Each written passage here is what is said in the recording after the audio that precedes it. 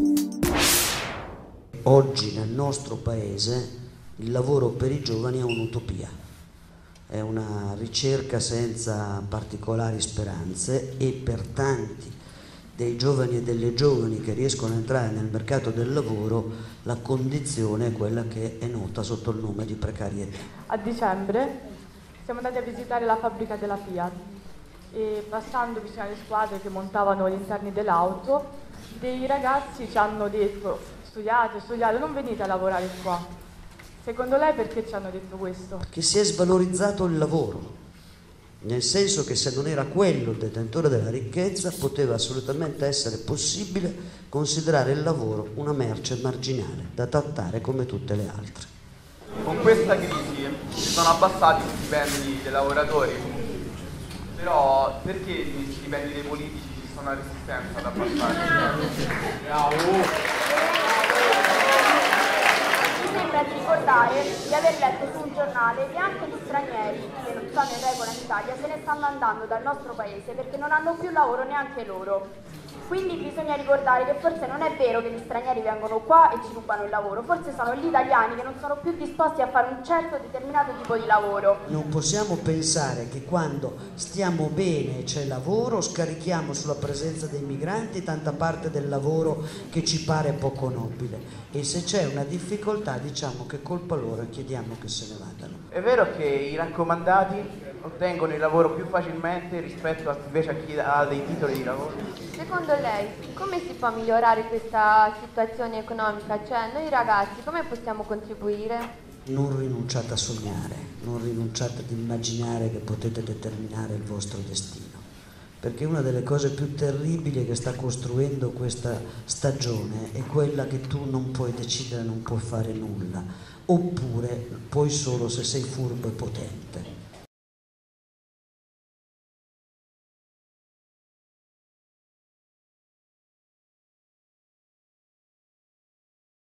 Che in ogni cambiamento ci sono due possibilità. C'è quello che quel cambiamento lo sa utilizzare e quindi diventa un'opportunità in più, c'è quello che invece rispetto al cambiamento cerca di mantenere quello che hai o continui a fare quello che sai fare e questo cambiamento ti travolge. Eh, salve, sono Gabriele. Volevo chiedere maggiori informazioni su quali fossero poi i reali finanziamenti riguardanti la questione della ricerca in Italia e su come funzionasse poi appunto la condizione del salariato statale come, nel senso di ricercatore. Noi pensiamo troppo ai soldi, ai finanziamenti e poco ai processi reali. E questo vale anche per la spinosa questione della ricerca, che noi consideriamo soltanto in Italia ci sono pochi soldi per la ricerca. Voi sapete che in Italia adesso ci sono 8 miliardi di euro per la ricerca nelle regioni del Mezzogiorno che non vengono presi da nessuno. Non è importante cercare di eh, appiattire questo divario enorme che c'è nella popolazione e quindi cercare di ehm, spostare la propria visuale sulla parte più ricca della popolazione e cercare di porre fine a questo grande fenomeno dell'evasione fiscale. La vostra collega ha fatto una domanda molto bella e intelligente perché è di attualità politica, visto che ci sono tante diseguaglianze, togliamo i soldi ai ricchi per darli ai poveri. No. Ma il problema qual è? L'ha detto lei stesso, che sti ricchi per andarli a beccare ci vuole la squadra dei servizi segreti. In Italia ci sono solo 20.000 persone su 40 milioni di dichiarazioni fiscali che dichiarano più di 200.000 euro.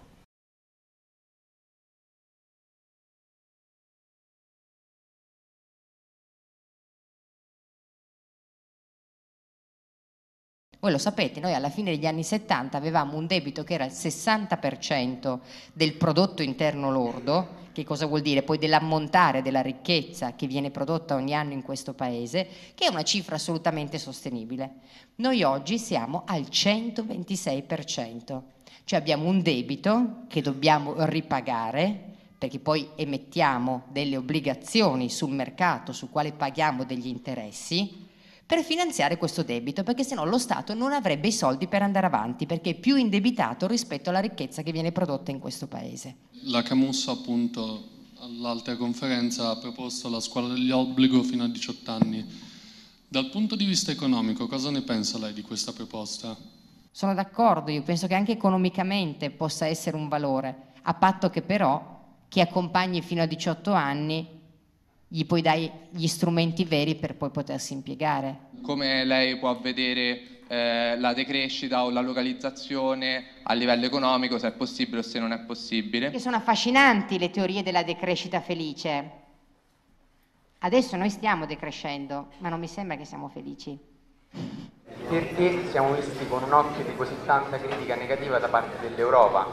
Perché negli altri paesi chi è coinvolto in uno scandalo va a casa. Non perché c'è la legge che dice che nelle liste non ci può stare chi ha subito indagini, condanne, primo, secondo, terzo grado. Perché voi vi indignate, perché i cittadini si indignano, perché c'è uno scandalo, perché si muovono le opinioni, perché noi organi di informazione dobbiamo dare enfasi, trasparenza su questi temi. E allora non c'è neanche bisogno che intervenga no? la mannaia del pubblico ministero, non c'è bisogno.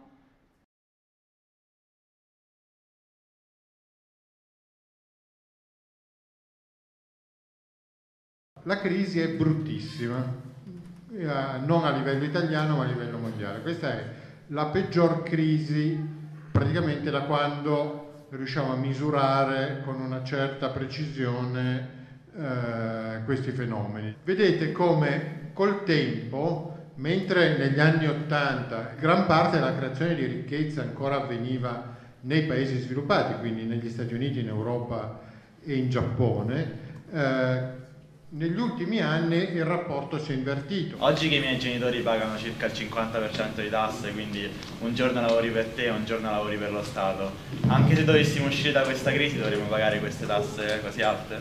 Disse un ministro, un grande ministro dell'economia che fu parte francese, pagare le tasse è bello, e aveva ragione. Il problema dell'Italia è che si pagano tante tasse, ma la qualità dei servizi è veramente modesta.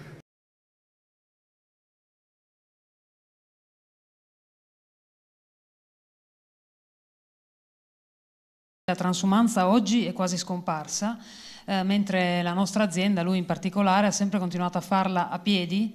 La nostra è una zona di transumanza verticale, cioè questa dalla pianura alla montagna, non di lungo spostamento delle greggi.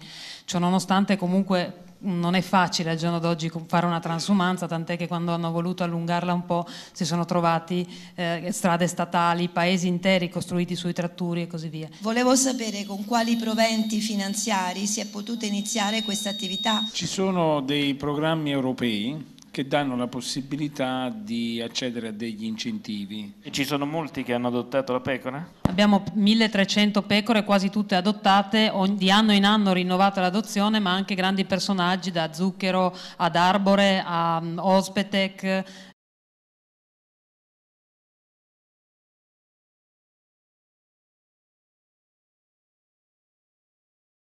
Non ci possiamo sedere sulla sedia a studiare e pensare che studiando finirò la mia bella università quando sarà 26, 27, 28 anni e il giorno dopo mi siedo a un tavolino e trovo un lavoro tranquillo e sereno. Non è così, anzi, po' l'avete capito penso perché anche la crisi ve l'ha sottolineato, ma l'altro è proprio di rimboccarsi le maniche, cercare di non prendere solo una strada come riferimento. Io dico sempre a chi magari ha passione per, per l'informatica, la programmazione, ecco, si, mettetevi a, a, provare a fare dei programmi, a fare delle applicazioni. Ecco, vi dicevo, il mondo mobile oggi sicuramente è di più interesse rispetto al mondo del PC. La crisi è un periodo sì difficile, ma anche un periodo di grandi occasioni, sia per le aziende che oggi come BWIB devono guardarsi su, altri, su altre cose, reinventarsi, sviluppare cose diverse rispetto a quello che avevano fatto prima e magari avere maggior successo poi, piuttosto che per i giovani oggi guardarsi intorno al mercato del lavoro e dire vabbè senti c'è la crisi, vedo che va tutto male, le banche falliscono,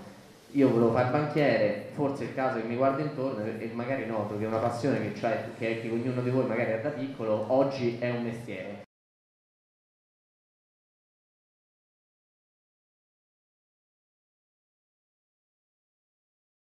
Quando io, Corrado e Stefano siamo entrati nel mondo del lavoro, il nostro mondo del lavoro era un piccolo mondo, in cui i nostri competitori erano pochi, perché c'erano pochi giovani laureati, pochi giovani, pochissimi sapevano le lingue, c'era una bassissima mobilità.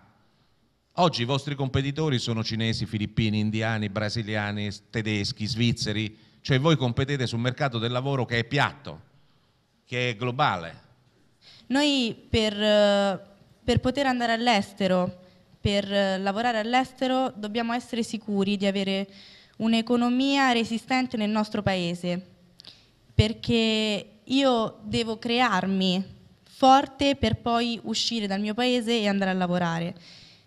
E questo è il sogno di tanti ragazzi. Io sogno anche di lavorare in un'Italia forte, con un'economia forte. E come possiamo risolvere la nostra crisi economica all'interno dello Stato. È, è questo il problema, perché l'economia, cioè il, la crisi economica nel nostro Stato è una crisi insomma abbastanza, abbastanza grave e io voglio lavorare in Italia in futuro e voglio avere la sicurezza, cioè voglio io risolvere la crisi economica. Come facciamo? Il problema è non fermare la storia. La storia non, si, non la fermiamo noi, non si ferma mai, ma noi non la fermiamo. Stiamo tranquilli che noi questi processi non li fermiamo.